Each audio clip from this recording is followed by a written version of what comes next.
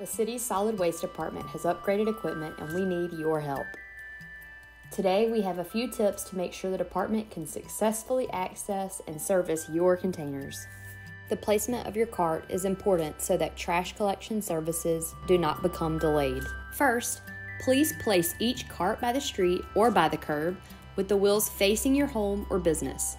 Rollout carts must be within 4 feet of the road and on a flat surface avoiding ditches and flower beds. Next, please make sure each individual rollout cart is 3 to 4 feet from your other carts so that automated side loader truck can grab each cart.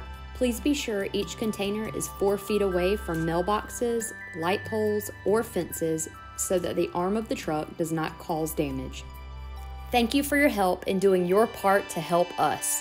If you have questions or concerns, please call 843 248 1760.